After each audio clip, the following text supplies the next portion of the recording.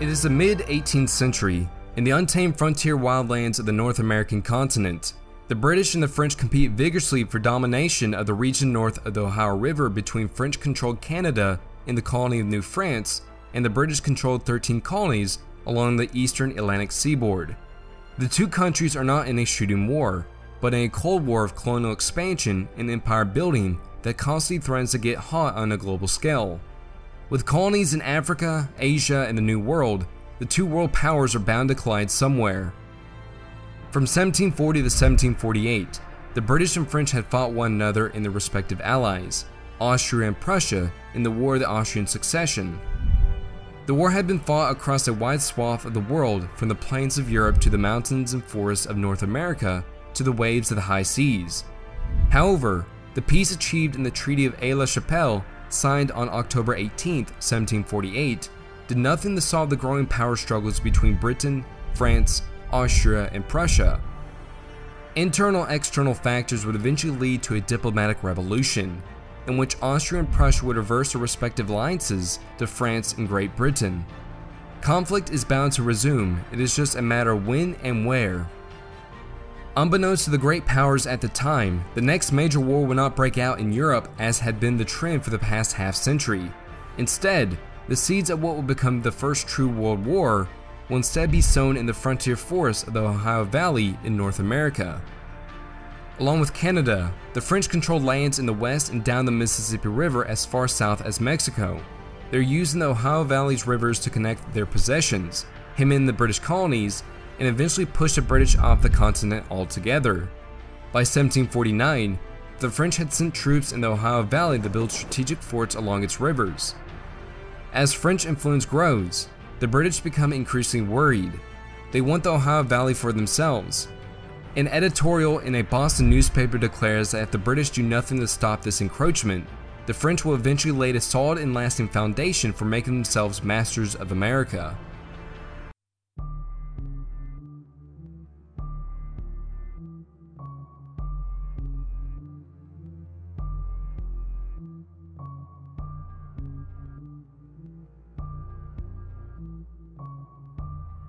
When the stories of French atrocities reached the colony of Virginia in January of 1754, Lieutenant Governor Robert Dinwiddie sent a small force under command of Captain William Trent north to build a fort at the confluence of the Allegheny, Ohio, and Monongahela rivers, known as the Fork of the Ohio, located near present-day Pittsburgh.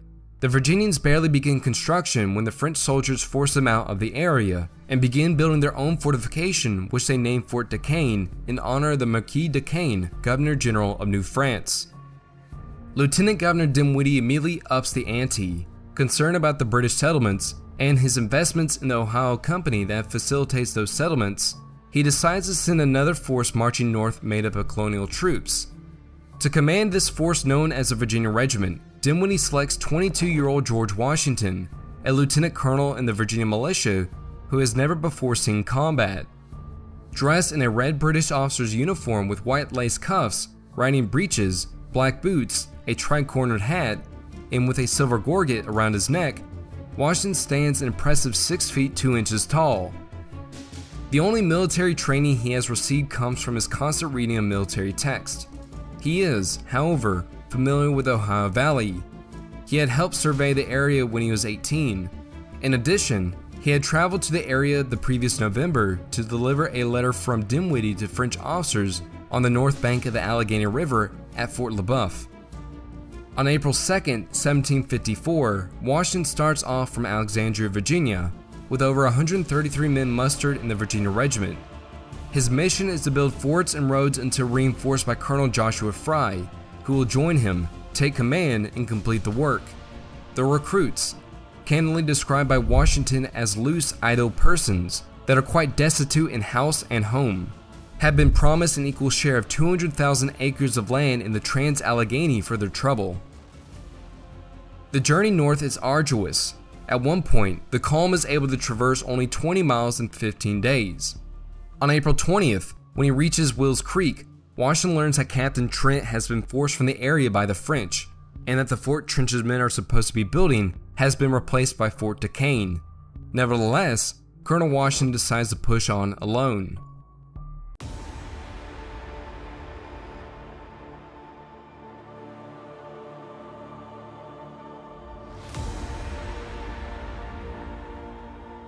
On May 24th, the Virginians reached the Great Meadows, which Washington calls a charming field for an encounter. The well known meeting site, 50 miles north of Wills Creek, is flat and open, nestled between two ridges. Two small streams connect in the meadow, providing ample drinking water for his men. Washington decides to make camp and await developments. Four days later, Washington receives word from the Mingo Native American chief Tanacharison, also known as a Half King, that a French spying party is concealed just west of the Virginians. Reacting quickly, Washington gathers 40 men and leads them west along a narrow trail. After hiking three miles in pitch black darkness and pouring rain, he meets up with the Half King, who shows him the French camp. Washington confers with the native chief and decides to attack. The French are encamped at the bottom of a ravine. The group of 33 men are preparing breakfast and have not mounted a guard. Some are not even dressed. Their arms are either stacked or leaning against rocks. Utilizing the high ground, Washington has his men and the Indian reinforcements encircle the camp. Whoever fires the first shot, French or English, is disputed, but the results are not. It is a slaughter. Washington's men fire a musket volley. The French, according to Washington, ran to their arms and fired briskly, but they are surrounded and caught off guard and cannot react quickly enough. The skirmish on May 28, 1754, known to history as the Battle of Jumonville Glen, lasts only 15 minutes. After the two volleys from Washington's men, the French throw down their weapons and run to the rear, but upon encountering the Indians, turn around and rush toward the Virginians to surrender. Ten Frenchmen have been killed, one wounded, and one escapes. 21 others are captured. The wounded French commander, Joseph Coulon de Villiers, the Sire of Jumonville, calls to Washington and shows him his orders, which says he is on a mission of surveillance, not engagement. As the letter is being translated, the Half King runs up to Jumonville and says in French, Thou art not dead yet, my father. He then raises his tomahawk and brings it down hard, splitting open Jumonville's skull. He then reaches into the gaping wound and scoops out a handful of Jumonville's brain and scalps him. As if on cue, the other Indians are beginning killing the wounded Frenchmen and brandishing their blades to peel the scalps off the dead. Washington, whose first military action has been a surprising success, is completely taken aback by the Indians' war practices. He knows all about scalping. It is a common practice among some whites as well as the Indians, but he has never seen it take place so close. Any romantic dreams of glory from war Washington may have harbored vanishes with the brutal death of Jumonville. Colonel Washington has another concern. He has just conducted an act of war. Jumonville's letter, which simply declares that the British should leave the area, has a marked similarity to the letter he has delivered to the French six months earlier, when he was on a mission of peace. The letter is received, but the messengers are now dead and scalped, except for one Frenchman who is now making his way back to Fort Duquesne to report their atrocity. Despite the confusion, Washington has survived his baptism of fire at Jumonville Glen. He had stood exposed to fire while French shots sailed past him, yet kept his cool. He later writes to his brother John of the experience I have heard the bullets whistle, and believe me, there's something charming in the sound. He gathers his men, the prisoners, and their equipment and heads back to the Great Meadows. He realizes, however imperfectly, they he has stirred up a hornet's nest. The French will retaliate once a lone survivor informs his superiors of the massacre.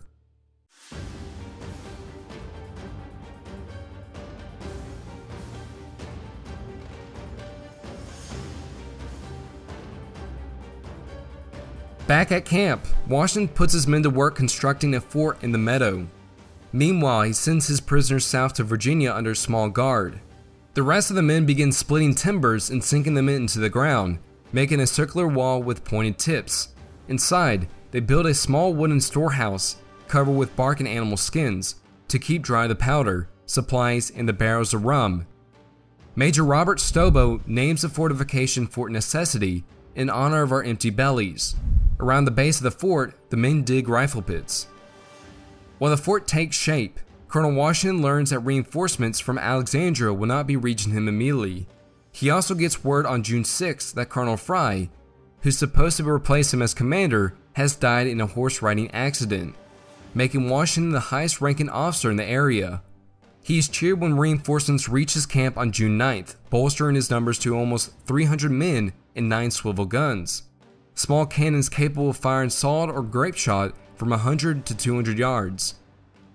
Five days later, a regular British Army unit made up of 100 men in all from a South Carolina Independent Company of foot marches into camp. However, a problem ensues when their commander, Captain James Mackay, tells Colonel Washington that since his commission comes directly from the Crown, he will take command. Washington politely refuses the order, explaining that there's no difference between provincial and regular army rank. Instead of staying at Fort Necessity and improving its defenses, Washington decides to take the offensive. He leads his Virginians northwest of Gist Mill, leaving Mackay at the fort. Gist Mill was the first English settlement west of the Allegheny River. The 20 mile trek is arduous. The journey takes two weeks, and when Washington's men reach the small plantation, they find it swarming with Indians who had been sent to spy on the Virginians. The French are expecting them. Washington tries to convince the Indians to join his men in the Half King against the French, but it is useless. The Indians are more concerned with which side has the most men, and it certainly is not Washington's. He sets to work laying yet another road and building defenses around the mill. But when Washington learns that a force of 800 French and Canadians and 400 Indians are advancing, he calls for Mackay to join him. Somewhat surprisingly, Mackay does so promptly. Washington soon finds himself in a precarious situation, realizing that a trek back across the mountain roads put him at a risk of an ambush. Washington nevertheless agrees with the Half King that returning to Fort Necessity will be their best chance for survival. He decides to decamp directly and to have our swivel drawn by the men by reason of the scarcity of horses. The journey back is worse than the trek to the mill. Washington's men have not eaten bread in six days, and none is forthcoming. After a tough two day trek over the Allegheny Mountains, Washington's men arrive back at Fort Necessity. They're not encouraged by what they find. The expected reinforcements have not arrived, and the stores of food they hope to find turn out to be a few bags of flour. There's no time to rest. Washington's men begin shoring up Fort Necessity's defenses, even Mackay's men contribute to the work this time.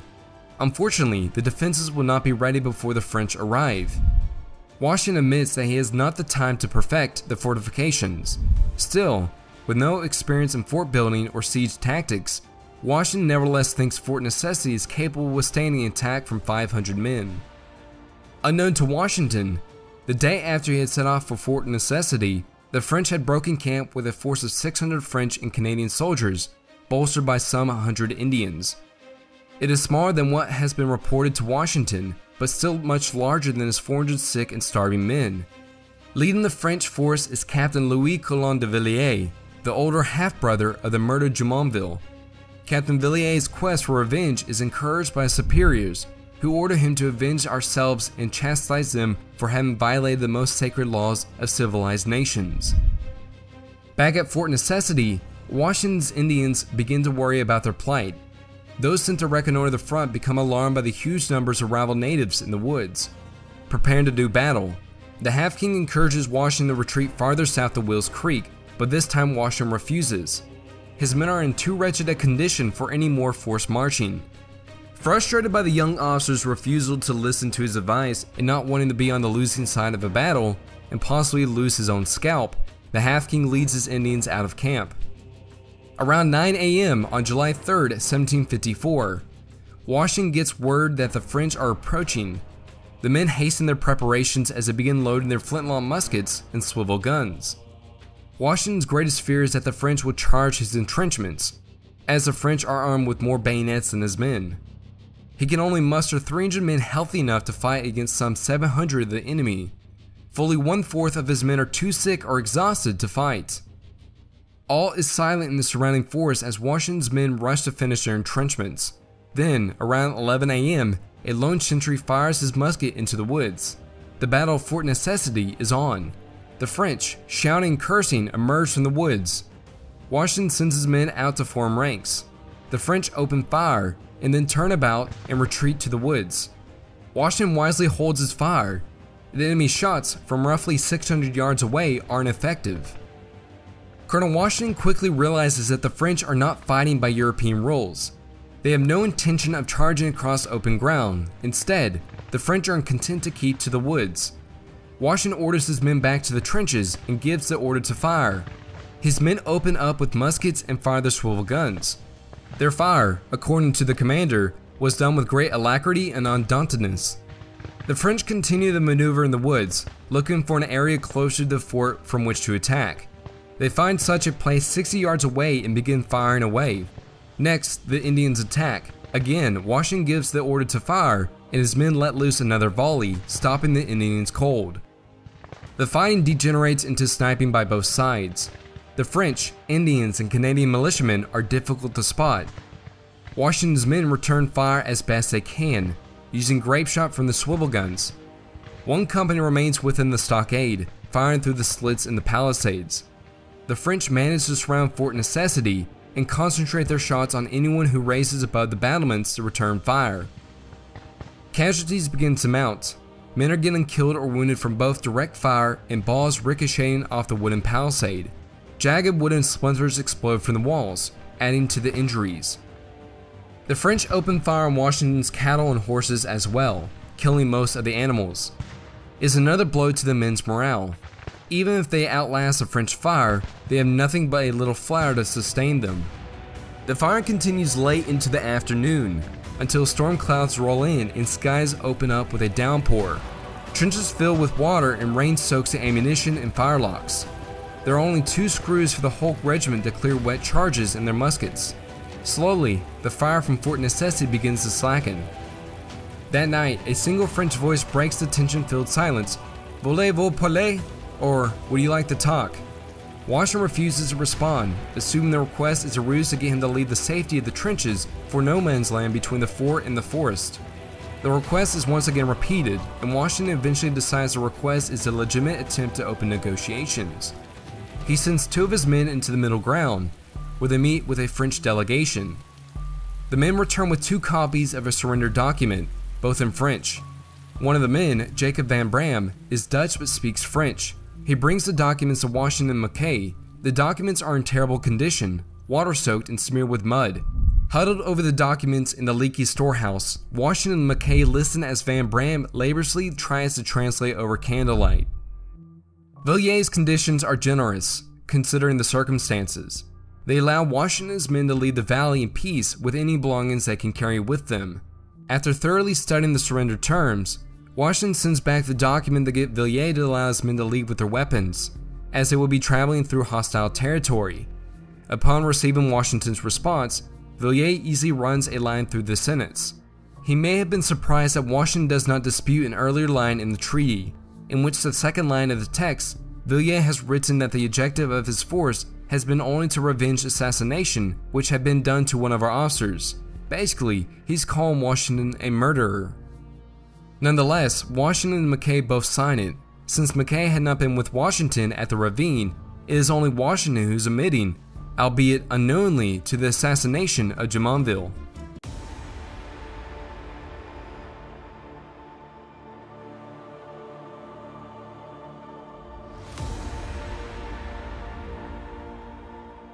The next day, ironically enough the 4th of July, the French emerged from the woods following a beating drummer.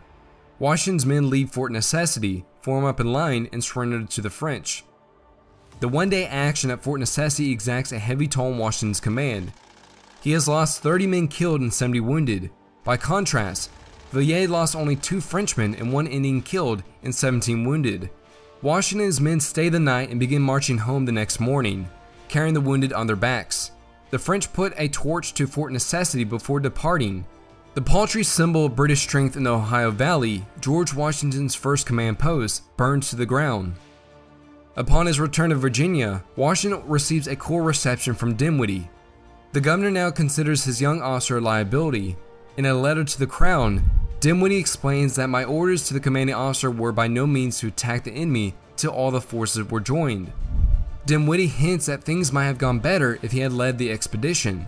The governor, however, has no more military experience than Washington and has no appreciation at all for conditions in the field. After criticizing Washington's performance, Dinwiddie turns around and orders Washington north again, but nothing comes of the order.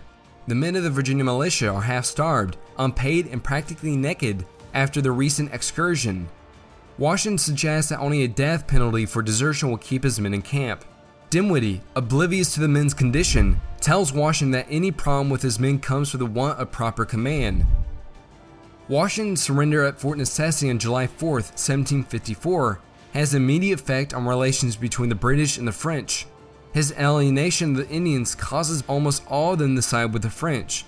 Now, they will harass any British farmers or traders in the Ohio Valley. Washington also jeopardizes Great Britain's moral claim to the New World by formally admitting to the assassination of a French officer. The French, who had captured Washington's journal after the battle, have it translated and printed in pamphlets that they distribute throughout Europe, claiming that the British have violently disrupted their peaceful occupation of the Ohio Valley and that George Washington is a self confessed murderer. With the conflict in the Ohio Valley North America now heating up, both Great Britain and France fight a series of campaigns in the New World, before the British officially declare war on the French in 1756. In North America, the conflict will become known as the French and Indian War and become a struggle to determine the fate of who will control North America, the British or the French. The war will soon become just a theater of an even larger global conflict known as the Seven Years' War.